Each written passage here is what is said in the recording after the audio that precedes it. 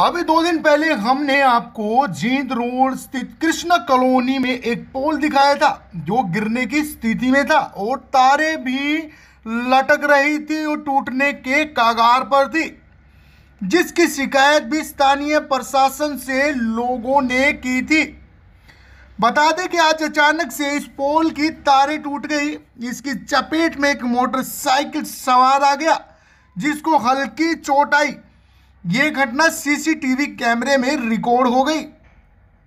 इन तारों को टूटने से एक बड़ा हादसा होते होते टल गया, क्योंकि ये बिजली की तारें थी। ऐसे में खबर चलने के बाद भी बिजली प्रशासन का इसको और कोई ध्यान न देना एक बड़ी लापरवाही को दर्शा रहा है।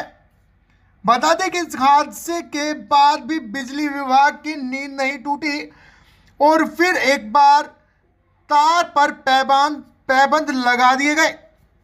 जहाँ बदलना था पोल, वहाँ तार पर जोड़ बिजली कर्मियों ने लगाए गए। स्थानीय लोगों ने बताया कि कई बार ये तार ऐसे ही टूट चुकी है, लेकिन इन पर सिर्फ़ जोड़ लगाने के अलावा बिजली विभाग कुछ नहीं करता। बहरहाल सवाल उठता है कि बिजली विभाग यहाँ किसी बड़े हादसा होने का इंतज़ार कर रहा है। ANT National Bureau Report.